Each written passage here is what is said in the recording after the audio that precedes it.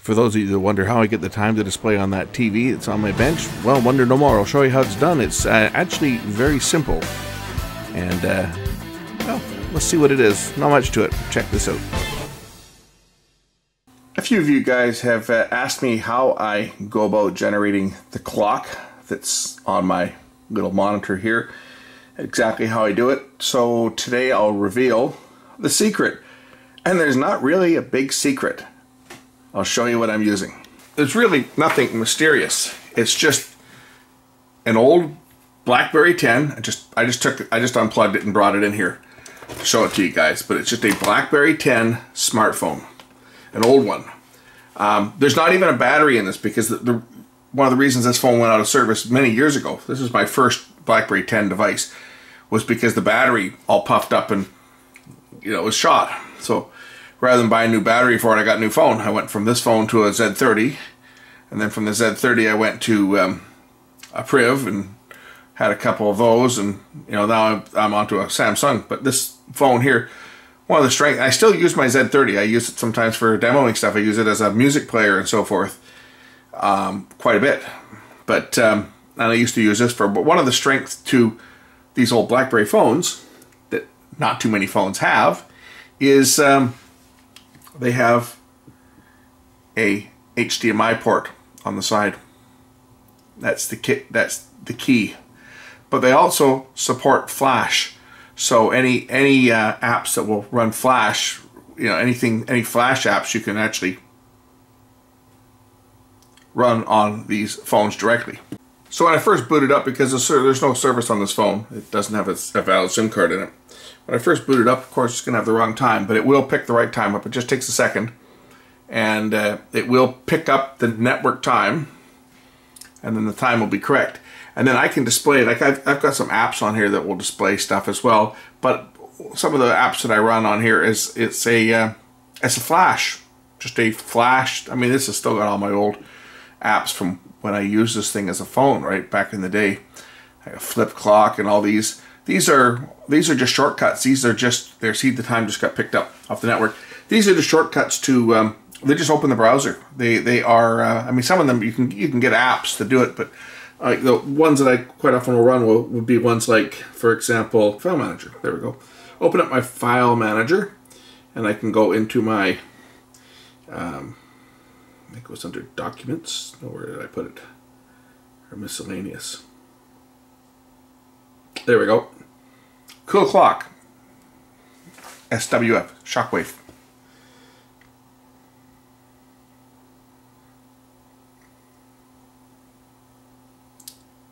Oh, remember that one? That sometimes show? And uh, of course, when the phone is turned sideways, it will it'll fill the screen. But uh, as soon as I plug an HDMI cord into this thing, this will display on the TV. And then I, I just take the output from the HDMI here and I just plug that into uh, uh, an HDMI to video converter. The very one that you saw repaired, the one that was that the NTSC in PAL was kind of reversed. It said, um, you know, uh, I forget the title of it, but was a video I did a few years ago where I bought one of these things from off of uh, Amazon and it didn't work. And um, contacted them and they said, I'll just throw it out. And they gave me a refund. It was like 10 bucks. Well, I took it apart and it was one that looked like it had been found in the garbage. Fixed it. That's what I use. Is I use that little that little AV to or that HDMI to AV, and then output to the uh, output to uh, throughout the house on the uh, on the house cable. It's just on a modulator. It just feeds throughout the house, and then I just tune the, the TV down to whatever channel it's on. I've got it set to like CATV channel 17 because I just have the high band set on this thing.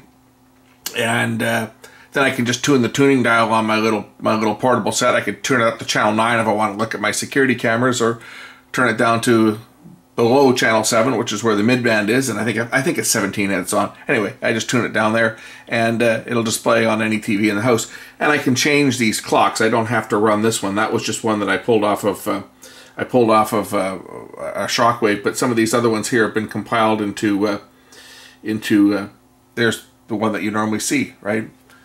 I, if I turn it this way it'll display like that. Now you're probably wondering what this is. Well as I said before the battery was shot on this phone and, and, and just plugging it into a USB charger won't do anything because the phone has to detect that there's a battery in it. If you take the battery out and plug it in, it won't turn on, it won't boot. So what I did was I took the original battery and I ripped the battery apart and I just took the guts, which is the logic, out of the battery. There it is there, right? Positive, there's, there's even a fuse still in there, right? There's the battery protection. And I just soldered wires to the four pins, negative, positive, and the two sensor pins to the, because there's an IC and everything on here, this is the battery voltage monitoring and protection circuit. This just goes to a USB uh, plug that's plugged into a cell phone charger. So it just, it only runs off power, but all I use this for is just displaying the time. So um, that's, uh, that's the mystery. There's really not much of a mystery here. It's pretty, pretty simple. It was just a finding a use for my old BlackBerry phone that I can, uh, I can do stuff with. And, uh, you know, and I use it to display the time. And I have, I have a number of different clocks. That's, that's one of them that I can display. And, you know, I've got another one here this one here will display, I think this one will work. Yeah, it should kick in here. There you go. That's another one that I can display. You see? And some of these are just apps I got off of BlackBerry World. Um, and other ones are just flash a shock a shockwave flash file that I I found somewhere. So that's another one. Um, flip clock. Here's a 3D flip clock. Okay, that's that's this type. Turn it this way and it will go like that. I'm sure you guys have seen that one as well. That's one that I, I sometimes have on. And some of the other ones I've got. See, I got dozens. This was a cool one too. That's that's one sometimes I've had on. Anyway, that's basically it. I just I was looking for something to use my old BlackBerry for that uh, still worked, and uh, this is what I've been using it for. And then I just have all these different. Uh, I just have all these different apps that I can run, or I can. I mean, I've got still got some of my old apps on here I don't use, but uh, Nixie clock. I think that's a Nixie clock. Yeah, that one doesn't look as good but uh, some of them don't look as good. Some of these are Android apps, right? Because these these um, these old BlackBerry 10s, they could run Android any Android app. So most of these, the ones that are apps, are actually Android apps. Um, I think that's the one that I quite often run. Nope, that's not the one. Where's the one I quite often run with the flip clock?